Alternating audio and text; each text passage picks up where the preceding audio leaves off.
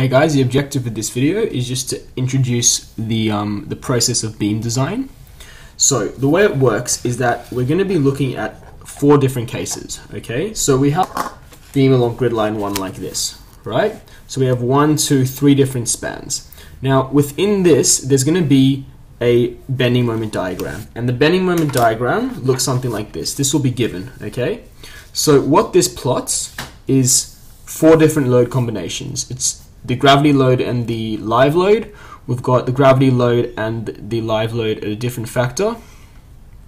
The gravity load, live load, and earthquake loading at loading one and two. Okay, so that this diagram is what we call a um, bending moment. It's called an envelope because we're going to go and make it into an envelope, and you'll see what that means in the later videos. But essentially, this is the bending moment diagram across our structure.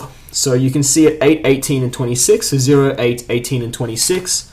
0, 8, 18, and 26. So those are the points along our beam, different grid lines. So you can see at the, all the supports, we have hogging moments up here of hogging moments, and at the mid-span, we have the maximum sagging moments. Now, the way the beam philosophy works when it comes to design, what we do is, is we're going to be looking, so let's talk about sagging first. So we're going to be designing for a max sagging value and a minimum sagging value. So the max sagging value, the design moment, comes straight from this envelope.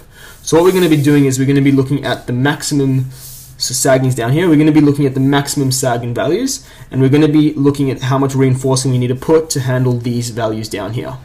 But you can see, say, um, close to the support, say over there, we've only got a little bit of sagging. So we're going to have to have huge bars here, but over here we don't have to have such big bars. So we need to um, look at the minimum sagging. Now the minimum sagging comes straight from the code. It's the exact same for the hogging case. So at the hogging, at the supports, you can see we have quite large bending moments. So we need to design for these bending moments straight off the envelope. But then you can see as we move away from the support, say over here, we still have hogging moments, but they're much smaller than the ones up here. So we're going to have to have a lot of steel to um, to handle all this moment. But